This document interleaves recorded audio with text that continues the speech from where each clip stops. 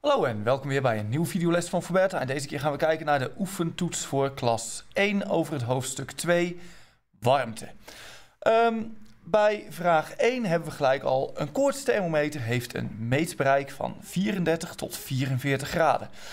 Waarom maakt het voor deze thermometer niet uit dat het meetbereik zo klein is? Nou, de reden dat dat niet uitmaakt is dat de lichaamstemperatuur van een mens ehm, eigenlijk ook daar niet buiten komt. Dus de lichaamstemperatuur van een mens uh, komt nooit buiten deze waarde. En mocht dat wel zo zijn, dan weet je ook zeker dat er iets echt mis is. En dan is een koortsthermometer waarschijnlijk ook niet noodzakelijk. Goed, dan hebben we natuurlijk vraag 1b. Bij vraag 1b, wat is het voordeel van dit kleine meetbereik?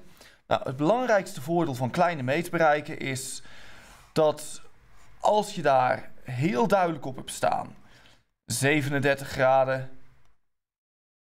38 graden, 39 graden, 40 graden, dan is dat 10 keer makkelijker af te lezen dan wanneer je een thermometer zou hebben die 0 graden Celsius,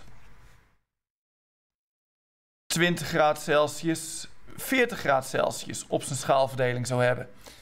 Kortom, doordat het, het meetbereik heel klein is, is de precisie heel erg groot.